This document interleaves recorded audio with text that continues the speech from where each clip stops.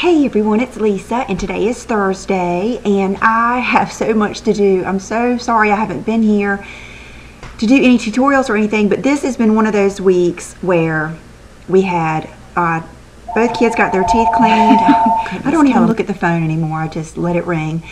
Anyway, so I've had both kids have had they've gotten their teeth cleaned and gone to the orthodontist. I had my oil changed. I went to the dentist.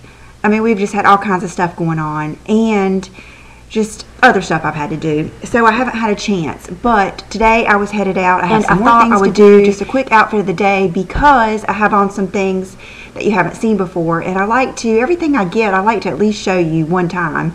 And um, today so I'll be I right have back. on those jeans that, and they're a little big, but um, I didn't want to wear a belt because, I don't know, I've got so much other stuff going on. I just didn't want to wear a belt today.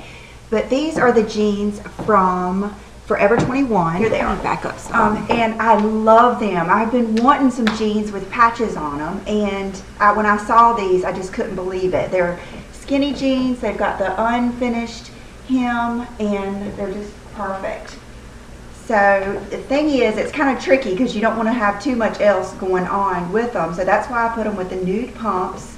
And then it is cold, not as cold as most of you, um, I hate it for like Tammy and Buffalo, and oh, I just cannot even imagine. But it's been high in the 40s.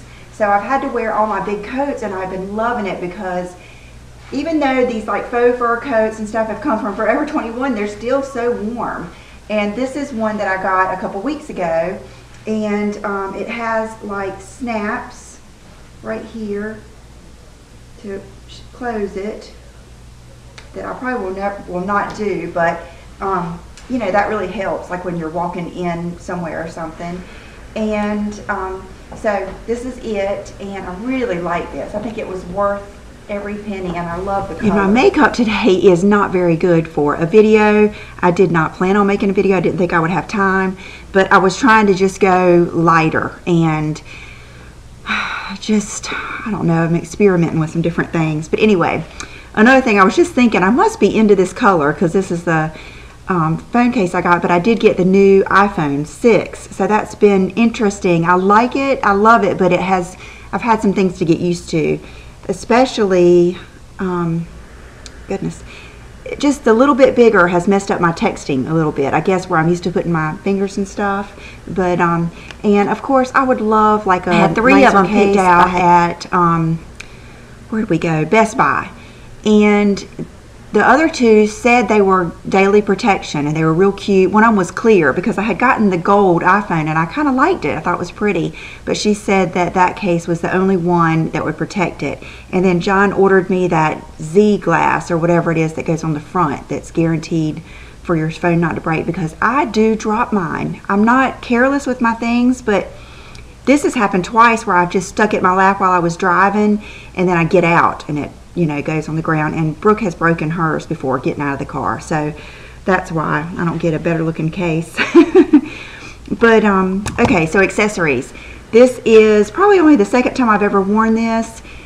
It is the Tom Binns, Tom Binns necklace. I can't remember exactly what it's called. I got it from Hitchcock Madrona or Madrona uh, back in at the end of the summer, and it is a true statement piece and so that is all I'm wearing today. I did not even put any earrings on because I feel like they're not going to show that much and there was just I just I didn't want to put on the only thing I could think of is if I'd have had some silver little those balls that I'm getting ready to get in from Sheila Fajl or you know something like that but I didn't have anything like that so anyway um, nail polish is Dior Blue Label and I got so much good stuff this week. I can't wait to show you some things tomorrow because I got some some good stuff.